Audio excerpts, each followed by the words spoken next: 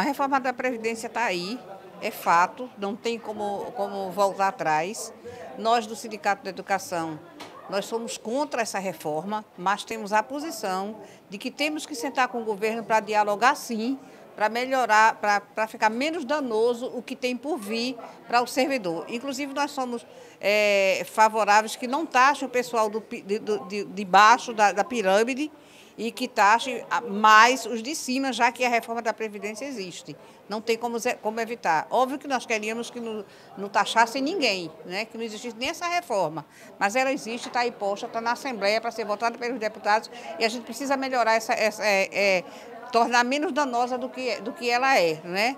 E aí, assim, os aposentados, é muito injusto os aposentados não receber, não descontar nada da Previdência porque contribuiu a vida inteira e hoje vai ter que ser taxado também quando o seu salário mal dá para sobreviver.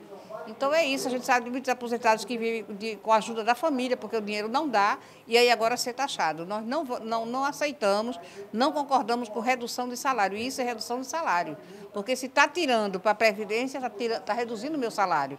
E nós não somos favoráveis a isso, mas vamos tentar sim conversar com os deputados para amenizar a, o impacto dessa reforma.